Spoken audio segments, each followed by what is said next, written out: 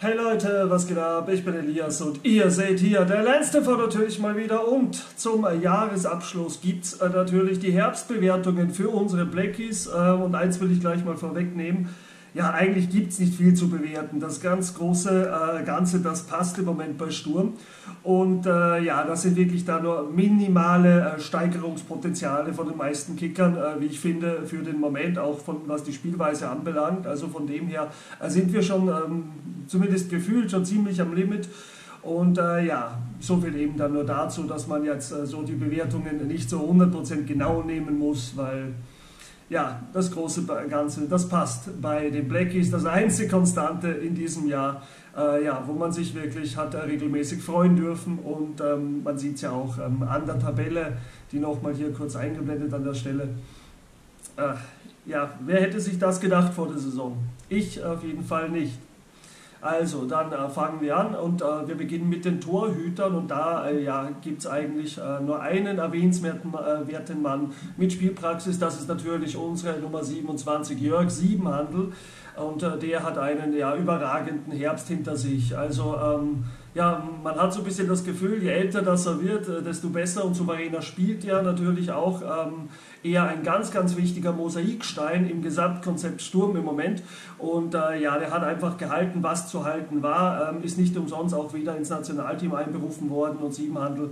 Ähm, der ist halt wirklich der Fels in der Brandung, auch in der Defensive, wenn es dann wirklich mal bremslich wird, was ja äh, Gott sei Dank nicht so extrem oft vorgekommen ist in diesem Herbst. Also von dem Siebenhandel ganz klar eins mit Sternchen.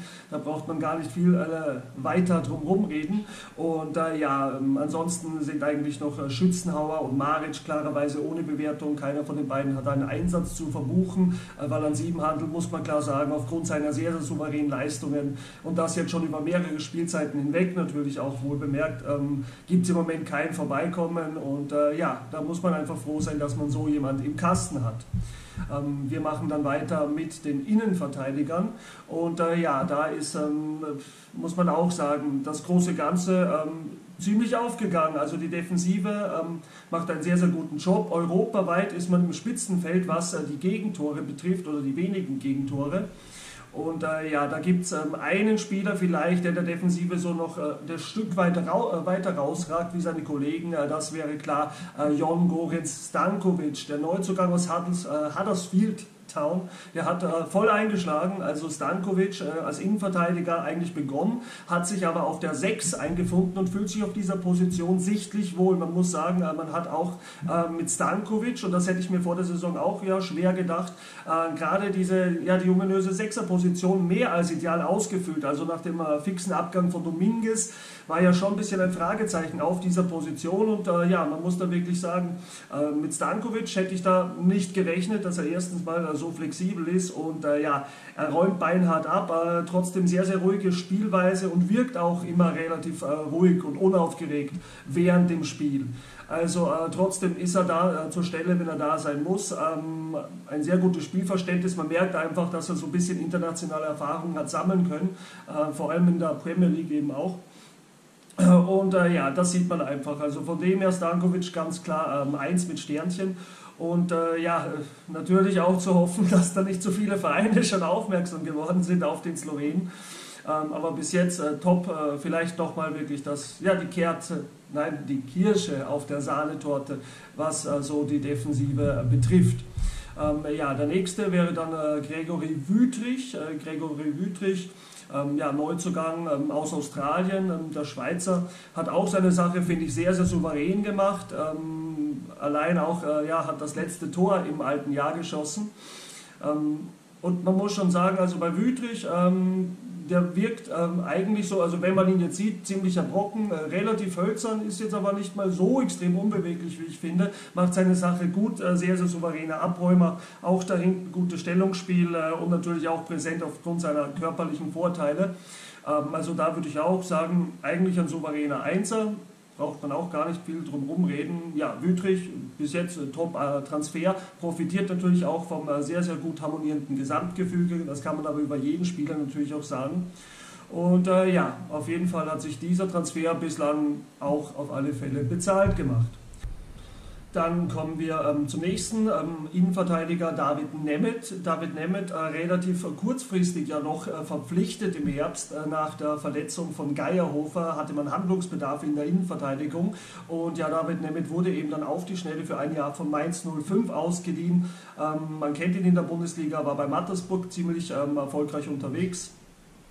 Und ähm, ja, bei Nemeth muss man auch sagen, den hatten, glaube ich, weniger auf dem Schirm vorher und auch er ist aufgegangen. Also er hat sich eigentlich ähm, ohne gröbere Anpassungsprobleme sofort äh, gut eingefügt. Ähm, da muss man sagen, ja, für sein Alter ist er auch äh, wirklich äh, schon sehr, sehr erfahren, was eigentlich die Spielintelligenz anbetrifft. Kommt mir zumindest äh, nach meiner subjektiven Wahrnehmung so vor. Ähm, allein schon, wenn man schon sieht, also seine langen Bälle, die kommen an. Das hatte man auch schon eine Zeit lang nicht mehr bei Sturm gesehen. Also ähm, ziemlich gutes Präzisionsspiel nach vorne. Und äh, ja, wie gesagt, bei Nemeth, da merkt man, äh, nicht umsonst haben den die Mainzer geholt. Also der ähm, wird sich, glaube ich, auf Dauer irgendwo in einer größeren Liga finden, wenn er so weitermacht. Also bei Sturm hat er auch eher eingeschlagen. Und äh, ja, man äh, kann dann nur hoffen, dass es vielleicht Möglichkeiten gibt, auch David Nemeth, äh, Nemeth vielleicht auch langfristig an die Blackies zu binden. Mal schauen, ähm, ja, was da die Zukunft bringt. Auf jeden Fall im Moment äh, kann man äh, ja mit dem Neuzugang definitiv äh, glücklich sein. Also auch Nemeth bekommt die 1 und äh, wir machen weiter mit den Außenverteidigern. Geierhofer übrigens bekommt keine Bewertung, eben weil er verletzungsbedingt nicht wirklich viele Spiele machen konnte. Ich glaube, das war so am dritten Spieltag gegen Hartberger, wo er äh, ab äh, diesem Zeitpunkt ist er da ausgefallen. Also von dem keine Bewertung für Geierhofer auch an der Stelle. Äh, bei den Außenverteidigern, da beginnen wir links. Amadou Dante, letztes Jahr auch er, ähm, bei, beim Stichwort Hartberg, äh, ja an Hartberg ausgeliehen gewesen. Und ähm, ja, hatte dort, glaube ich, ein bisschen mühsamen Start, hat sich dann letztendlich aber auch durchgesetzt und ist jetzt auch bei Sturm im Moment aus der Startelf nicht wegzudenken. Auch natürlich, weil er äh, schon auch profitiert hat, äh, dass ja sein Konkurrent unter Anführungszeichen auf dieser Position, Vincent Trummer, sich ja auch verletzt hat und auch ähm, ja, lange äh, ausgefallen ist. Und äh, ja, man muss sagen, Dante hat aber seine Chance objektiv, also objektiv, optimal natürlich genützt. Also Dante ähm, nicht umsonst auch jetzt so ein bisschen im Fokus von Salzburg. Man kennt das ja. Ich könnte mir aber gut vorstellen, dass das vielleicht auch äh, ja, so ein bisschen Gerüchte streuen, um äh, ja, die Blackies da die, äh, zu verunsichern ist von Salzburger Seite. Aber auf jeden Fall, ja, mit Dante ähm, hat man so den nächsten Shootingstar. Also bis jetzt auch, würde ich sagen, ganz klarer Einser, macht seine Sache gut, macht schon auch noch Fehler, ähm, aber trotzdem im Großen und Ganzen äh, finde ich, ja, macht das eben einfach gut für sein Alter mit viel Speed. Und äh, ja, bei Dante, wie gesagt, der hat ja eine Lücke gefüllt, die eigentlich seit äh, Lyko Giannis äh, Abgang so ein bisschen leer blieb auf links, äh, muss man sagen. Also konnte nie so im vollen Umfang wirklich ausgefüllt sein. Und jetzt hat man wieder da einen Außenverteidiger, äh, nicht nur mit Speed, der auch ja technisch gar nicht so schlecht unterwegs ist, wie ich finde. Also von dem her bis jetzt auch äh, Dante top. Also auch hier ein klarer Einser. Ähm, ansonsten eben Vincent Thomas, ein Konkurrent, keine Bewertung klarerweise, weil er eben äh, verletzt ausgefallen ist. Und ähm, dann kommen wir auf die rechte Seite und da ist eigentlich ja der einzige richtige Rechtsverteidiger im Moment äh, bei Sturm äh, Sandro Ingolic. Ingolic ja vor der Saison aus St. Pölten verpflichtet worden. Und äh, ja, auch Ingolic ist aufgegangen, logisch. Also die Abwehr sowieso, wie gesagt, ein Bollwerk, das sind nur ja, da ganz kleine Optimierungsversuche, aber im Großen und Ganzen muss man sagen, braucht man sich nicht beschweren. Auch Ingolic trägt seinen Part dazu bei, nach vorne gefährlich, hinten meistens äh, recht souverän. Und äh, ja, deswegen auch für mich äh, bekommt Ingolic einen Einser. Also die Einser, die schmeißen wir heute einfach mal so raus wie die Fuffis. Ganz, ganz, ja, ganz, ganz äh, souveräner Herbst auch von Ingolic, auch keine Anpassungsprobleme gehabt bei Sturm. Und äh, ja, auch ich glaube, mit ihm werden wir noch äh, viel Freude haben. Äh, der nächste ist dann äh, Gazi Begovic, Yusuf Gazi Begovic, ähm, eher gekommen aus Liefering äh, vor der Saison.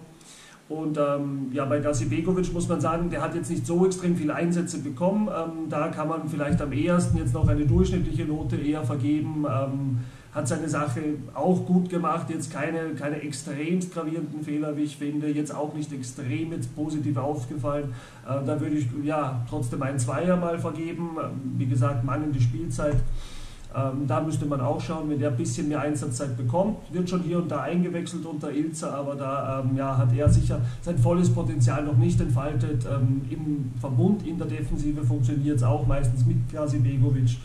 Aber ja, im Großen und Ganzen ist er jetzt im Moment trotzdem noch eher den Tick mehr Ergänzungsspieler. Mal schauen, ob es eben im Frühjahr dann zu vermehrten Einsätzen äh, ja, für den äh, jungen Außenverteidiger da noch kommen wird. Und äh, ohne Bewertung ähm, auch an der Stelle äh, ganz klar für Komposch. Ähm, hat ja erst seinen äh, Profivertrag bekommen und ist bis jetzt noch kein Thema für die Startelf oder einen Einsatz gewesen. Weiter geht's mit dem Mittelfeld und da starten wir mit Ivan Lubic. Und Ivan Lubic ist so, äh, ja, so ein bisschen das Phänomen im Mittelfeld im Herbst gewesen. Also auf der einen Seite äh, Lubic als Kitaischwili ausgefallen ist, ähm, hat Lubic äh, diese Lücke als Zehner wirklich überraschenderweise für mich ähm, äh, herrlich ausgefüllt. Also jetzt nicht unbedingt jetzt der, der, ganz große Passgeber jetzt nur, aber torgefährlich. Vier Treffer im Herbst für Lubic, also äh, für seine ja, Verhältnisse ist das äh, schon eine sehr, sehr torgefährliche Saison bisweilen. Und äh, man muss sagen, der fühlt sich auch auf dieser Position wohl. Sein Pech war dann so ein bisschen ja gegen Ende vom Herbst, dass eben dann Kitaischwili zurückgekommen ist und äh, ja äh, vielleicht auch etwas überraschenderweise ähm, ja nicht äh, Kuhn raussortiert wurde, sondern Lubic. Ähm, die zwei waren so ein bisschen äh, ja an der Kippe, wo ganz gern noch rotiert worden ist. Und äh, trotzdem muss man sagen, sehr, sehr guter Herbst, wie ich finde, von Lubitsch. Ähm, hat sich auf jeden Fall gesteigert, hat aber trotzdem natürlich noch weiter Steigerungspotenzial. Also es ist noch nicht zu 1000 Prozent das Gelbe vom Mai, aber ähm, ja, Lubitsch macht seine Sache immer besser. Also da hatte man doch so ein bisschen am Ende der letzten Saison ja so leichte Stagnation festgestellt, aber jetzt kommt er wieder. Also von dem äh, bin ich gespannt. Ich glaube auch Lubitsch wird auf seine Einsatzzeit im Frühjahr definitiv kommen. Er bekommt äh, jetzt von mir ja, eigentlich ja auf seiner, aufgrund seiner vier Tore eigentlich auch ein Einser, kann spielerisch aber trotzdem, glaube ich, fast ein bisschen mehr. Also ich schwanke zwischen 1 minus und 2 plus. Ähm, ja, geben wir eher mal trotzdem, ja, egal, die 1 minus, ähm, weil eben auch er im Kollektiv äh, gut funktioniert. Also von dem her, ja, mit Lobic, ähm, ja, da haben wir auch, glaube ich, noch äh, viel Freude in, äh, im Frühjahr und eben auch vielleicht, wenn wir ihn halten werden, in den nächsten Jahren. So, der nächste Juk, äh, Lukas Jäger natürlich ähm, auf der Liste. Ähm, bei Lukas Jäger muss man sagen, okay, der ist so der klassische, äh, klassische altmodische Sechser, wenn man so will. Also klassischer Abräumer, jetzt nicht wirklich klar spielerisch die Granate, das muss man ehrlich sagen, aber ähm, er macht seinen Job und er macht ihn, wie ich finde, auch gut. Also da ähm, scheiden sich die Geister, ist so vom, vom Spielertyp her, sage ich mal, so ja, ein etwas kleinerer Piesinger vielleicht ähm, ohne die jetzt eins eins vergleichen zu wollen. Aber man merkt eben, wie gesagt, eher so ein Kämpfer aus der alten Schule, wenn man so will. Und ähm, ja, im Kollektiv, wie schon mehrfach erwähnt, funktioniert das gut. Also da ähm, macht Jäger seinen Job, macht keine gravierenden Fehler. Im Gegenteil, ich finde ähm, auch äh, gerade bei seinen Grätschen, äh, bei seinen Tacklings, da hat er sich gesteigert im Vergleich zur Vorsaison. Also von dem her äh, würde ich auch Jäger äh, auf jeden Fall, ja, einen Zweier doch äh, auf jeden Fall geben. Doch, ja, Zweier für Jäger, ähm, gut mit Steigerungspotenzial, aber ähm, für seine Verhältnisse finde ich, ähm, ist er wirklich gut unterwegs und ähm, ist im Moment auch, äh, wenn auch nur Ergänzungsspiel unter Anführungszeichen, ein wichtiger Bestandteil auch in der Mannschaft eben zum Ergebnis absichern, ähm, ist es nie schlecht, äh, so einen drin zu haben, zumal er ja auch äh, positionstechnisch variabel ist, also der kann ja defensives Mittelfeld und auch Innenverteidigung, also ist schon ganz gut, dass wir ihn im Kader haben. Der nächste ist dann der Captain Stefan Hierländer und da muss man auch sagen, bei Hierländer, den hatte ich schon irgendwo so leicht unterbewusst abgeschrieben, muss ich zugeben. Also bei Hierländer in der letzten Saison ähm, ja, da gab es schon auch Probleme, lag aber auch äh, sicher zum größten Teil an der kollektiven Leistung. Da hat bei Sturm sowieso gegen Ende sehr, sehr wenig funktioniert, nur mehr. Und ja, Hirländer ist auch wie die meisten wieder zurückgekommen. Also er ähm, ist aktuell wieder im Mittelfeld gesetzt. Da fühlt er sich auch einfach deutlich wohler als jetzt irgendwie als notgedrungener Außenverteidiger. Die Rochade äh, ja als Rechtsverteidiger, ähm, das kannte man ja unter El Maestro noch. Und äh, ja, jetzt ist er wieder am rechten Flügel mit äh, vielleicht ein bisschen weniger Speed als früher, aber ähm, ja, mit wichtigen Akzenten im Offensivspiel immer wieder. Also meistens ist er dann eher der, der so den äh, ja, vorvorletzten Pass dann spielt, ähm, der dann aber im Endeffekt auch zu einer gefährlichen Aktion führt. Und ja, auch bei Hirländer muss man sagen, da gibt es nicht viel zu meckern. Äh, nichtsdestotrotz ist er jetzt nicht hundertprozentig noch der alte Hirländer, äh, den wir so aus Zeiten des Cup-Finals kannten. Ähm, aber er ist auf dem äh, Weg zum Comeback, wenn man so will auch. Also von dem her würde ich mal sagen, ein guter Zweier für Hirländer mit Steigerungspotenzial nach oben, aber der Captain ist auf jeden Fall back, was das angeht. Weiter machen wir dann mit Andreas Kuhn. Andreas Kuhn vor der Saison ähm, aus Mattersburg gekommen. Und äh, ja, zum einen äh, eine Top-Verpflichtung. Hätte ich mir auch ehrlich gesagt so gar nicht erwartet. Man wusste zwar aus Mattersburg, dass er ein guter Kicker war, aber schon auch sehr verletzungsanfällig. Und das ist eben immer so die Frage. Man erinnere da ähm, aus Sturmkreis an einen Klaus Sallmutter, wo das ähnlich zutrifft. Ähm, und bei Kuhn muss man sagen, ja, ähm, verletzungstechnisch ähm, hat man es überwunden, also nichts passiert. Der ist eigentlich, ich glaube, äh, überhaupt nicht verletzt gewesen im Herbst, wenn ich mich da nicht vertue. Aber auf jeden Fall, ja, hat auch Kuhn eingeschlagen und ähm, ich finde, der hat sich sogar einen Einser da verdient. Also zum einen sehr variabel natürlich einsetzbar, sowohl im offensiven Mittelfeld als auch am linken Flügel und eben sehr, ja, sehr präzise Flanken ähm, und man muss schon sagen, Kuhn ein wichtiger Mann, auch für Standards. Ähm, aber der funktioniert im Gesamtgefüge einfach auch sehr, sehr gut. Also kann den Unterschied ausmachen. Ähm, wenn er trifft, dann sind es meistens sehr schöne Tore und ja bis jetzt auch bei Kuhn. Wenn er fit bleibt, äh, dann wird er uns auch ähm, weiterhin bereichern. Und äh, ja, da freue ich mich jetzt schon auf die nächsten Einsätze, um ihm da auch zuzusehen. Also Kuhn, Einser, ganz klar. So, der nächste, Philipp Husbeck. Philipp Husbeck, äh, mittlerweile der Edeljoker, wenn man so will, bei den Blackies, äh, ist ja eigentlich von den Spieljahren her schon ein alter Haudegen, so ein bisschen bei den Schwarz-Weißen. Ähm, wenn er reinkommt, ähm, dann kommt er mit Speed. Ähm, hat man auch äh, zuletzt äh, gesehen, das war, glaube ich, gegen gegen St. Pölten, wo er dann auch ein Tor äh, mit eingeleitet hat, äh, gleich nach seiner Einwechslung. Nein, Blödsinn, das war das Austria-Spiel, genau. Aber auf jeden Fall hat äh, ja Husbeck ähm, auch eigentlich sein Soll erfüllt, ähm, könnte natürlich ein bisschen mehr Einsatzzeit vertragen. Man muss aber sagen, im Moment, äh, gerade auch im Mittelfeld, ist die Konkurrenz ja nicht so ohne bei Sturm. Also man hat viele Möglichkeiten. Ilzer kann da äh, mehr oder weniger wirklich äh, variieren, wie er möchte. Und ähm, ja, da ist Husbeck im Moment halt so ein bisschen der Edeljoker. Nichtsdestotrotz, äh, ist er natürlich ein wichtiger Bestandteil der Mannschaft. Ich glaube auch so für das Mannschaftsgefüge. Ähm, ja, auch ein äh, ganz, ganz wichtiger Mann und Bestandteil. Also von dem äh, Husbeck bekommt mal einen Zweier.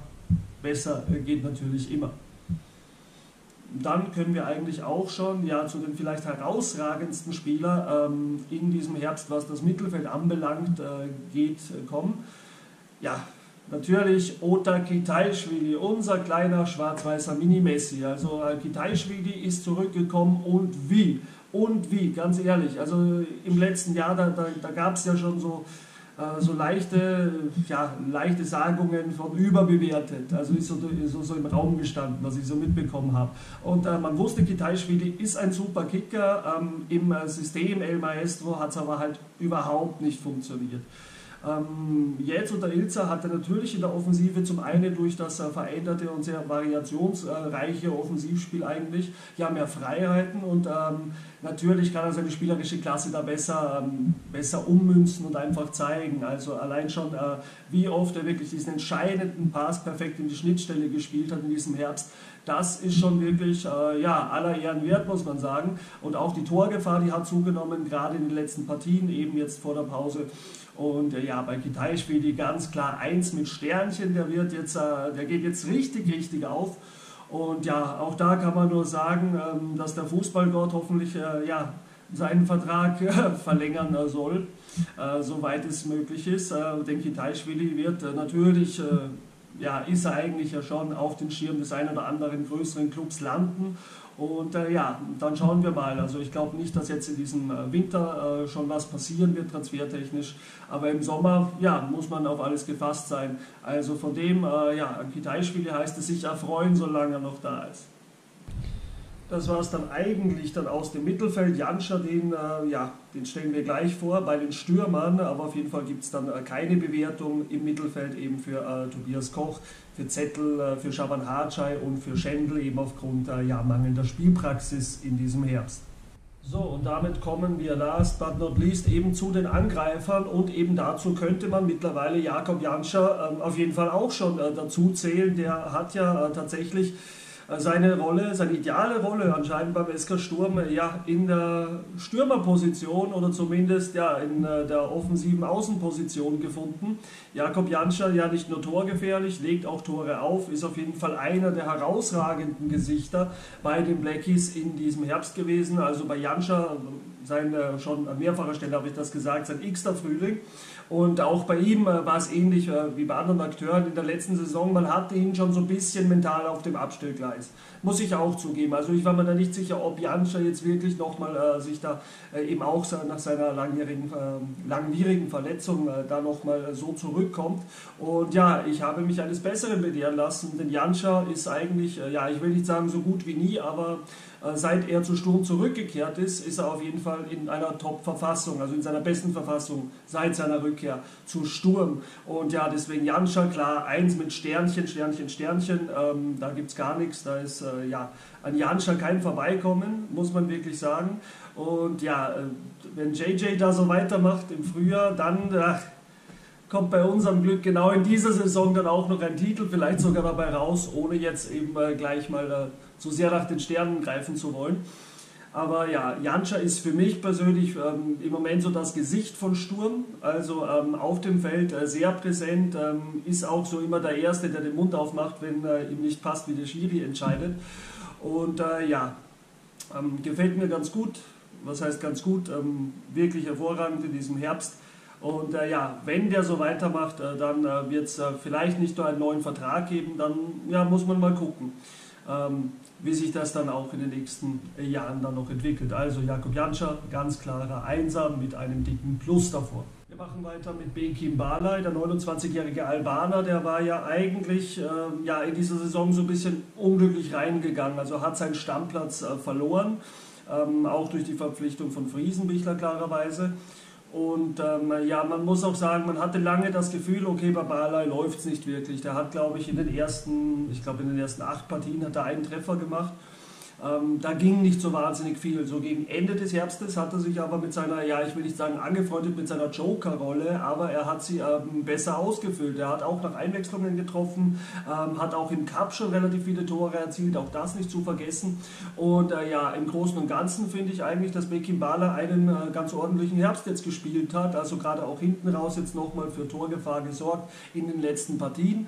Ähm, deswegen würde ich eigentlich Bala schon einen guten Zweier geben. Also ähm, es geht natürlich noch besser, aber wenn man sich das Ganze mal so vor Gemüt führt, dass eben Bale als nicht äh, absoluter Stammspieler oder Startelfspieler ähm, doch jetzt regelmäßig zu treffen beginnt, ähm, ja, dann muss man sagen, ist Bale nicht zu unterschätzen. Ich finde auch, äh, es wäre wichtig, ihn zu halten, ehrlich gesagt. Ich würde ihn, weil es ja äh, Gerüchte gab, dass äh, Bale eben vielleicht nach Albanien wieder zurückwechseln könnte, ähm, ja, ich würde ihn halten, ganz ehrlich, wenn möglich, denn ähm, es ist, glaube ich, schon ganz schwierig, auch weil Sturm natürlich mit einem jungen Weppo einen noch trotzdem unerfahrenen Spieler in der Hinterhand hat hat noch, ähm, ja, dass ein Ballerabgang der Mannschaft wehtun könnte trotzdem. Also wie gesagt, im Moment, äh, wenn Baller selber nicht sagt, ähm, er will unbedingt weg, ja, dann würde ich ihn nicht hergeben, ganz klar, auch wenn es ein bisschen Geld klarerweise einbringen würde. Man muss natürlich da auch ein bisschen an die Finanzen denken, schon klar, aber trotzdem Baller äh, im Moment ja ein ganz, ganz wichtiger Edel-Backup und natürlich ist es schon grenzwertig, wenn Sturm sich so einen leisten kann. Also warten wir ab, was da passiert. Ähm, ich persönlich ja, bin äh, von Balai im Moment überzeugt und würde da sagen, ja, eben guten Zweier und ähm, kann auch gern so weitergehen. Dann kommen wir als nächstes zu Kevin Friesenbichler. Ähm, bei Friesenbichler ja auch ähm, lange Zeit ja ein bisschen unglücklich gewesen, dicke Chancen verstolpert etc. Und auch dem äh, scheint jetzt der Knopf aufgegangen zu sein, auch speziell nochmal zum Ende des Herbstes in den letzten Partien ja da auch getroffen das ein oder andere Mal. Und ja, bei Friesenbichler muss man sagen, er ist vielleicht äh, ja, teilweise technisch wirkt er leicht limitiert. Man muss aber sagen, ähm, ist äh, trotzdem ziemlich beweglich, finde ich, für seine Größe und ist halt auch immer so für die speziellen Momente, also so, so den leichten Ansatz eines äh, Zulechners, würde ich sagen, wobei mir Friesenbichler äh, da spielerisch besser gefällt. Ähm, aber Zulechner war auch so einer, der hatte dann oft Pech und dann im einen Moment hat er das Hammertor gemacht, mit dem keiner gerechnet hat und bei Friesenbichler ist es ähnlich. Also auch der ähm, kann für diese speziellen Momente sorgen und es ist gut, dass man ihn im Kader hat, definitiv. Also auch bei Friesenbichler würde ich mal sagen, der bekommt einen äh, guten Zweier, ähm, kann noch mehr, da ist sicher Steigerungspotenzial, speziell bei der Trefferquote klarerweise. Aber wie gesagt, gegen Ende des Herbstes ist auch er immer besser in Schuss gekommen, hat sich auch seinen Stammplatz zurecht erarbeitet, ähm, gegenüber Barley speziell. Und äh, ja, auch bei äh, Friesenbichler muss man sagen, gut, dass wir ihn haben aktuell. Als nächstes kommen wir dann äh, zum Weppu, Francisco Weppu. Auch der wurde ja ähm, erst im Herbst verpflichtet, hat jetzt noch nicht so wahnsinnig viel Spielzeit bei den Schwarz-Weißen bekommen. Ähm, gute Ansätze sind da, mehr ist aber im Moment auch nicht zu erkennen. Deswegen auch ein Weppu ähm, noch nicht wirklich richtig äh, zu bewerten, wie ich finde. Der bekommt erstmal keine Note. Und äh, ja, dann haben wir noch, äh, wir haben ihn noch, ja, Emeka Friday Ese, der ist immer noch im Kader bei Sturm, aber ist, ähm, muss man auch klar sagen, gar kein Thema mehr äh, für die Startelf, geschweige denn für einen Einsatz. Also da sind, äh, keine Ahnung, die Fronten verhärtet der Käse gegessen oder wie man auch dazu sagen will. Äh, Ese, ähm, bin ich mir auch sicher, ist sicher ein heißer Kandidat für einen Wechsel in diesem Winter. Äh, mal schauen, ob sich ein Abnehmer findet. Ähm, aber ich glaube, es ist wahrscheinlich, äh, was auch schade ist natürlich, denn auch EC hat schon seine Glanztage in Graz gehabt. Ähm, gerade auch die Cup-Saison unvergessen, das Spiel gegen Rapid etc. Und äh, ja, es ist schade, dass er nach seiner Verletzung nie wirklich äh, so hundertprozentig mehr zurückgekommen ist, aber äh, ja, ich glaube, EC und Sturm, die Geschichte ist vom Tisch. Also da wird es in absehbarer Zeit, wenn nicht in diesem Winter, spätestens im Sommer, eine Trennung geben und da ja auch EC eben aufgrund mangelnder Spielzeit ohne Bewertung. So, mein Gesamtresümee. Also vom Herbst her muss man sagen, die Blackies ähm, mit einer überragenden Saison bislang. Man hat damit nicht rechnen können wenn man auch daran denkt, wie, äh, ja, wie schwierig die ersten Partien noch waren. Also da hatte man seine Stolpersteine schon. Das Anfangsspiel gegen St. Pölten war noch nicht berauschend. Auch ja das äh, Remis in Hartberg. Also da hat man sich noch schwer getan. Sturm hat aber eben äh, sich äh, sehr, sehr schnell, sehr kontinuierlich gesteigert. Gerade die Defensive war eben auch das herausragende äh, Prunkstück in diesem Herbst, muss man sagen. Also das ähm, war, glaube ich, so, ja, die, vielleicht so ein bisschen der Traum von El Maestro, den Ilzer im Endeffekt dann verwirklicht hat, natürlich mit einer anderen Spielidee, äh, die schon trotzdem ein Tick kreativer und natürlich auch äh, ein bisschen aufwendiger ist, wie das, äh, was wir unter seinem Vorgänger äh, gesehen haben. Und äh, ja, dieses Gesicht finde ich, ähm, wie auch schon mehrfach erwähnt, das passt zu Sturm. Sturm macht wieder Spaß zuzusehen. Und ähm, ja, auch bei Ilza gibt es ganz klar einen Einser natürlich an der Stelle, also mit Sternchen, da ja, scheint es zu passen.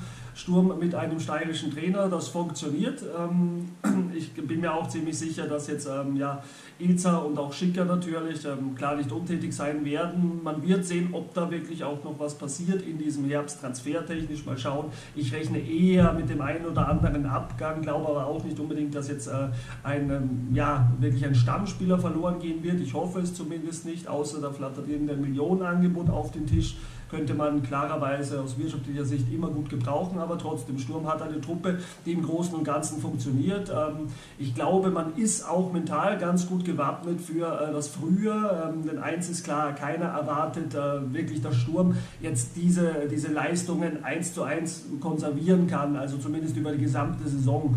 Ähm, und gerade weil die Erwartungshaltung, glaube ich, trotzdem nicht so extrem ist, zumindest jetzt nicht bei mir im Vergleich zu den letzten Jahren, ähm, ja, gerade dann kann es auch äh, aufgehen, dass Sturm vielleicht sogar wirklich bis zum Ende ähm, oben mitmischen kann. Ähm, ich glaube, der Meistertitel ist zum jetzigen Zeitpunkt noch ein bisschen, ja, bisschen Fantasie. Ähm, aber zumindest ja in der Nähe der Europacup-Plätze, da äh, wird man äh, sich weiterhin aufhalten. Ich glaube auch die Meistergruppe ist erstmal durch, also dass man sich da äh, dann dafür qualifiziert hat äh, oder sich qualifizieren wird, steht für mich eigentlich außer Frage. Ähm, wie gesagt, wenn Sturm nur so halbwegs die Leistung auch eben beibehält, äh, wie in diesem Herbst, ja, dann wird es eine richtig, richtig geile Saison. Es wäre natürlich schön, auch in absehbarer Zeit da wieder mal im Stadion im Ganzen beizuwohnen. Ähm, das werden wir sehen, wie sich das Ganze entwickelt. Auf jeden Fall, äh, ja, wünsche ich euch da auch an der Stelle ähm, noch einen guten Rutsch. Ich hoffe, ihr habt natürlich auch schöne Weihnachten.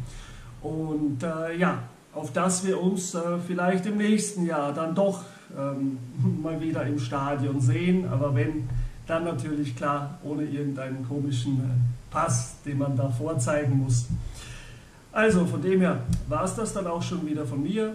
Ihr schreibt mir natürlich gerne in die Kommentare, was sagt ihr zur diesjährigen Herbstsaison, was sagt ihr zu den Bewertungen, geht ihr da Komfort oder sagt ihr doch, nein, beim einen oder anderen sehe ich das anders. Ich bin da wie immer sehr gespannt auf eure Meinungen. Und wir sehen uns dann einfach beim nächsten Mal, im nächsten Jahr, hier bei der Lenz TV. In diesem Sinne, euer Elias, auf die Schwarzen, sauber Burschen, weiter so. Und bis dann. Ciao, ciao.